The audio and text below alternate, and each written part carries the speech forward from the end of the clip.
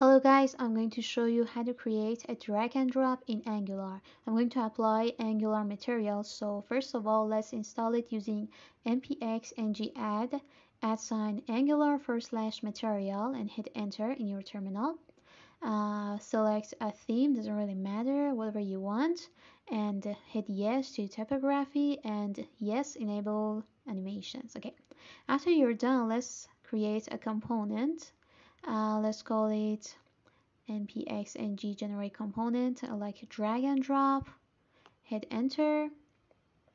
Okay and after your component is made we can actually uh, inject our code into it. And ts and this is our css file. Let's go to our browser now and search for angular drag and drop and scroll to get uh, to material.io select this site okay and as you can see there are a couple of drag and drops like this and you can also have it on a list and so on.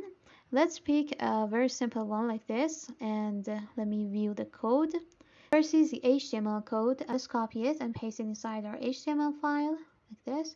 In order to apply cdk drag we need to go to the uh, ts file and uh, copy this import and paste it inside our app module.ts uh, right here okay?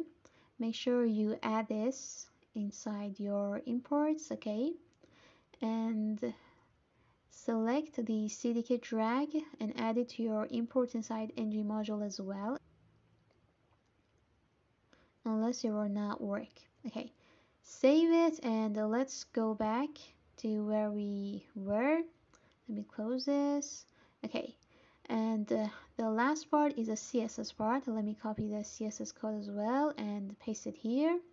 And at last make sure you add a selector uh, of your component to your apps.component.html and as you can see this is our drag and drop box that works perfectly. That's all. Thanks for watching